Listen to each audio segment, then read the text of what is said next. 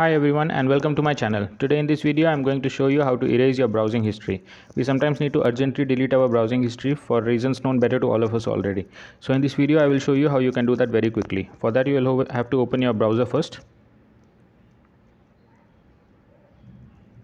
And then click on the three dots at the top right corner here and then click on the third option history once you do that it will display the list of all the sites that you have ever visited. So there are multiple things that you can do here. If you want to uh, delete one particular site then there is always the option of clicking on the cross button at the right side here that you can see. So if you want to delete the first one suppose i will click on the cross button at the top and it, it gets deleted uh, forever.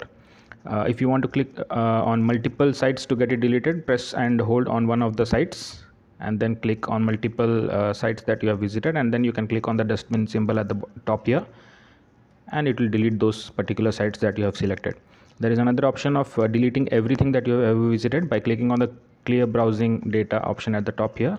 Once you delete that you will get two options basic and advanced.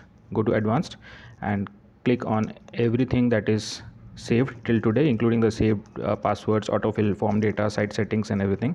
And then there is option of deleting everything that you have visited in the last hour 24 hours 7 days 4 weeks all time. So uh, depending on what you want to delete you can delete. So if i select all time everything that i've ever visited on the google chrome browser will get deleted.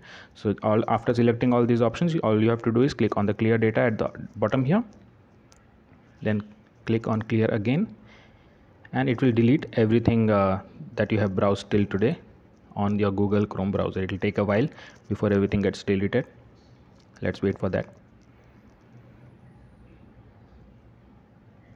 And then you can close your browser and open it again to check whether everything has been cleared or not by going to the settings again by clicking on the three dots at the top right corner. And going to history and then you can see the page here is empty. So because your uh, history has been deleted forever. So that is how you clear your browsing uh, data very quickly. So if you have liked this video please hit the like button and subscribe to my channel for more similar videos. Thanks for watching